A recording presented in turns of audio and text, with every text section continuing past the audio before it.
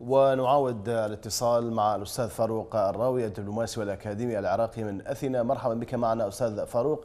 سألتك قبل انقطاع الاتصال حول بأن حركة التغيير الكردية قد وصفت الانتخابات البرلمانية بأنها الأسوأ منذ العام 2005 بسبب التزوير. برأيك لماذا كل هذا التزوير الذي حدث في هذه الانتخابات؟ أنا أعتقد أولا تحياتي لك وتحياتي إلى مشاهدي قناة الرافدين. أنا أعتقد قبل أن نتحدث عن التزوير أعتقد أن الشعب هو قال كلمته والمقاطعة الكبيرة اللي امتدت من شمال العراق إلى جنوبه واللي تجاوزت نسبة 80% المقاطعة. أعتقد هو هذا القرار الأساسي. نعم. إيه هذا القرار اللي هو قرار الشعب في المقاطعة. التزوير حصل لأنه الكتل لم تستطع أن تحصل على الأصوات اللي كانت تحصل عليها بسهولة في الانتخابات الماضية. ولذلك عندما آه، آه، أصبحت المقاطعة تجاوزت 80% حاولت الكتل الأخرى أن تزور الانتخابات للحصول على مقاعد. ولذلك الآن الكل يتهم الكل. يعني كل كتلة تتهم الكتلة الأخرى أنه هي قامت بالتزوير نعم. البرلمان عقد جلسة لمناقشة اتهامات التزوير هل تعتقد أن البرلمان يمكن أن يقنع الرأي العام بإمكانية معالجة ما جرى من التزوير؟ أنا الحقيقة اللي يعرفه في كل برلمانات العالم أنه في يوم الانتخابات تسقط يسقط البرلمان وتسقط الحكومة والبرلمان الجديد هو اللي يتولى المسؤولية ولكن ما أعرف أنا الحقيقة بالدستور الموجود واللي هذا الدستور وضع المستعمر واللي وضع المحتل كيف ممكن أن برلمان منتخب وبرلمان يواصل أعماله آه، بعد هذه أنا لا أعتقد أنه البرلمان قادر على شيء والمفوضية هي بالاساس هي غير مستقلة بالاسم فقط لأنه المفوضية تمثل آه، تكتلات حزبية، هذه التكتلات الحزبية معروف من هو المؤثر فيها ولذلك النتائج جدتي متقاربة مع ما آه، تمثله المفوضيه.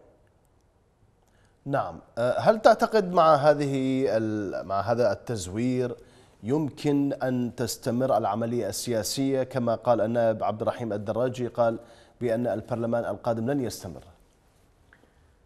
إيه، هو إذا إحنا رجعنا إلى الوراء حتى في الدورة الماضية والدورة ماذا عمل البرلمان السابق وماذا عمل البرلمان اللي قبله يعني البرلمان عام 2005 أو اللي بعده أو اللي بعده إيه، جميع هذه البرلمانات لم تعمل أي شيء وهذا بالتأكيد راح يكون أضعف البرلمانات القادمة.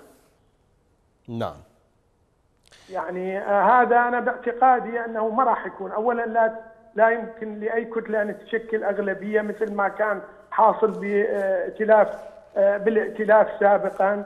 ولا حتى دولة القانون اللي كانت تملك أكثر من ما يقارب 90 صوت الآن أعلى آه، كتلة تملك 56 صوت.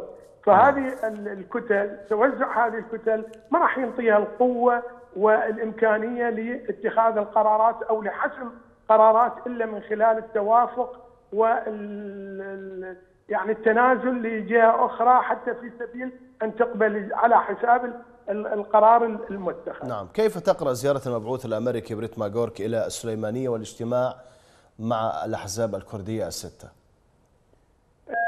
أعتقد أنه أمريكا تحاول أن تظهر للعالم أنه لأنه الآن في كل دول العالم وخاصة عندما نشرت احدى وسائل الإعلام البريطانية أن نسبة الانتخابات لم تتجاوز 19% هي ضربة لأمريكا وضربة للديمقراطية المزعومة اللي آه، كانت دائما أمريكا تسعى إلى أن تروج أنه هي فعلا آه، حققت نظام ديمقراطي في العراق نعم. ولذلك هي تحاول أن آه، تجمع الأطراف وإذا الكل عرف أنه بعد وصول السفير الأمريكي إلى فندق بغداد ارتفعت النسبة من 20% إلى نسبة 44 و52% وحتى هذه النسبة إذا حسبناها نعم.